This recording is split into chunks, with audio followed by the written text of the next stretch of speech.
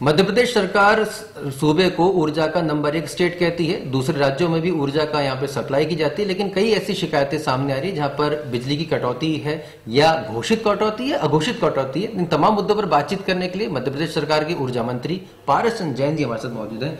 पारस जी, पहले तो ये सवाल है कि मध्य प्रदेश क्या ऊर्जा का सरप्लस स्टेट है या नहीं है? मध्य प्रदेश सरप्लस स्टेट है। अभी वर्तमान में साढ़े सत्रह हज़ार मेगावाट मध्य प्रदेश में बिजली उत्पादन हो रही है। जबकि खपत जो है ग्यारह साढ़े ग्यारह हज़ार से ऊपर अभी आज तक नहीं गई है। इस प्रकार बिजली हमारे यहाँ मध्य प्रदेश में उत्पादन जो दो तेरह साल पहले था चार हज़ार मेगावाट उससे बढ़ाकर मध्य प्रदेश की सरकार ने साढ़े सत्तर हज़ार में किया है। ये सबसे बड़ी हमारी उपलब्धि है। जी मेंटेनेंस को लेकर भी काफ़ी जगह से शिकायतें आ रही हैं तो क्या ये रूटीन मेंटेनेंस चल रहा है? ये रूटीन मेंटेनेंस होता रहता है। साल भर में जो शिकायतें आती थी लाइन टूटी जाती वगैरह तो वो चलता है। कोई कट मतलब कोई भी कटौती नहीं है। बराबर गाँव के अंदर हम जो घरेलू बिजली है, वो चौबीस घंटे दे रहे हैं। खेत की जो बिजली है बराबर दस घंटे बराबर पर्याप्त मात्रा में जनता को मिल रही जनता को शिकायत भी नहीं है। लेकिन कहीं कहीं ज़रूर शिकायत करते हैं लोग कि ये बात निश्चित है कि हमारे यहाँ ऐसा है कि वो कह देते हमने भर रखे हैं जिप भी लेकिन हमारा नियम जो है कि पचास परसेंट था। उसको बाद में हमने कहा कि यदि चालीस परसेंट तक भी ट्रांसफ़र में पैसा भर देते तो हम बदलते थे। उसमें हमारे आने के बाद हमने तीन अमेंडमेंट भी किए हैं। पहला अमेंडमेंट तो ये यदि गाँव छोड़ के यदि आदमी चले गया और तीन वर्ष हो गए तो उस ट्रांसफ़र में उसको लेस कर देते हैं। दूसरा अमेंडमेंट हमने ये किया है कि यदि कोई मर गया और तीन वर्ष हो गए तो भी उस ट्रांसफ़र में लेस कर देते हैं। चौथा जो अमेंडमेंट हमने किया, वो बहुत महत्वपूर्ण अमेंडमेंट है। पहले लोग ये कहते थे कि कुछ लोग, एक दो लोग पैसा ना भरते हैं। तो हमने उसमें क्या किया यदि किसी टीपी पर पिछहत्तर पर लोगों ने यदि पैसा भर दिया और यदि ज़्यादा पैसा किसी दो जने में बकाया है तो वो ट्रांसफार्मर भी हमने बदलने के आदेश दिए हैं। इस प्रकार बिजली विभाग के मामले में मैं समझता हूँ कि आज जितनी अच्छी अवस्था है पहले से बहुत बेहतर है। किसानों को बिजली पहुँचाने के मामले में मध्य प्रदेश कहाँ तक पहुँचा? अभी भी कुछ ऐसे इलाके हैं जहाँ पर पर्याप्त मात्रा में बिजली नहीं पहुँच पा रही नहीं कुछ मजले टोले हो सकते हैं पचास सौ गाँव के जो है, उनको हम अभी योजना में शामिल कर रहे हैं। मुझे लगता है वो भी, और दूसरी बात, कहीं कहीं जगह ऐसा होगा कि जहाँ नहीं पहुँच सकती है। अभी नया सोलर के माध्यम से भी बिजली हो रही है।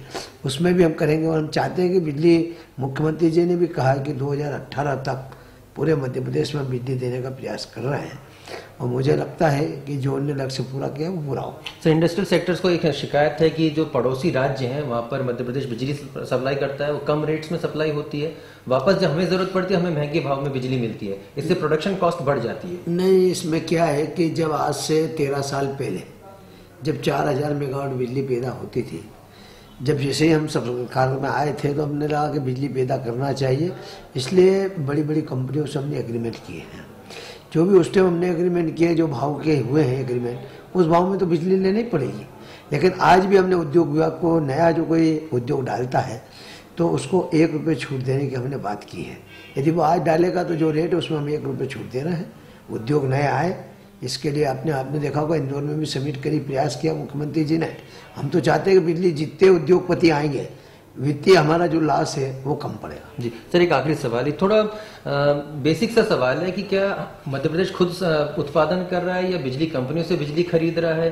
बिजली की दरें जो खरीदने वाली होती है वो काफ़ी महँगी होती हैं। तो ये ये द्विभाषी विरोधाभासी बातें क्यों सामने नहीं नहीं अभी आपने देखा होगा कि 750 मेगावाट की रीवा में सोलर प्लांट डल रहा है।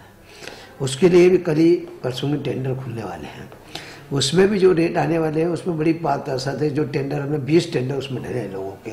हम टेंडर के माध्यम से ये देखेंगे कि जो सबसे लोएस्ट यदि होगा, फिर उसको बिठाएँगे, बैठने के बाद फिर उनको ऑनलाइन माध्यम से उनको कहेंगे भाई इससे कम में यदि और कह रहा तो और करें।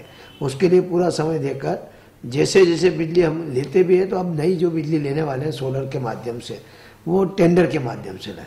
मुझे लगता है कि वो बिजली भी हमको जो रेट आने वाले हैं जो हमने अट्ठाईस की उससे भी कम आने की संभावना। सर सोलर की आपने बात की योजना निकली थी कि तमाम जो सरकारी जो दफ्तर हैं उधर भी सोलर पैनल्स लगेंगे लोगों तक भी सोलर पैनल्स पहुँचाए जाएँगे बिजली खरीदी भी जाएगी लोगों से।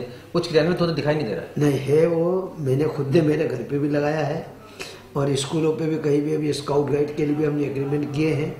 ये बात निश्चित है कि आदेश हमने निकाले हैं कि जितने भी शासकीय कॉलेज हो थाने हों उन सब पे कई जगह हुआ है कई जगह होने वाला जैसे जैसे प्रयास करके हम सकते हैं सोलर के माध्यम से ज़्यादा करेंगे तो हमको लगता है जो खरीदने वाली जो बिजली की बात है उसके लिए भी पॉलिसी बन गई है बहुत जल्दी आने वाली एक्सेस यदि होगी घरेलू में तो वो बिजली हम खरीदें। क्या बिजली की प्राइवेट कंपनियाँ जो है वो रोड अटका रही हैं सोलर नहीं पैनल के कोई को कोई रोड़ा कहीं भी नहीं है। हमारा उद्देश्य ये है कि केंद्र सरकार भी ये कह रही है कि सोलर को प्रेफरेंस देना चाहिए इसलिए हम उसके महत्व को भी देखते हुए प्रयास स्पीड बढ़ेगी सर आगे। लगता है धीरे धीरे बढ़ना ही है, कम होने का कोई चांस नहीं। बहुत बहुत शुक्रिया पारस जैन जी। साफ़ गोई से अपनी बात स्वीकार की है कि कहीं ना कहीं ज़रूरत है स्पीड बढ़ाने की, लेकिन निश्चित तौर पर ये ज़रूर बात यहाँ पे साफ़ कर दी गई है कि जितनी भी बिजली की कटौती हो रही है, वो मेंटेनेंस के तहत हो रही है। अलबत्ता ये बात ज़रूर है कि अभी भी मध्य प्रदेश में सोलर पैनल्स लगाए जाने बाकी हैं। आम जनता तक सोलर ऊर्जा पहुँचाने की यहाँ पे सख्त ज़रूरत है। मंत्री जी भरोसा दिला रहे हैं कि जल्दी ये सब संभव होगा। कैमरामैन आशु खान के साथ, Ashutosh India First News Bhopal.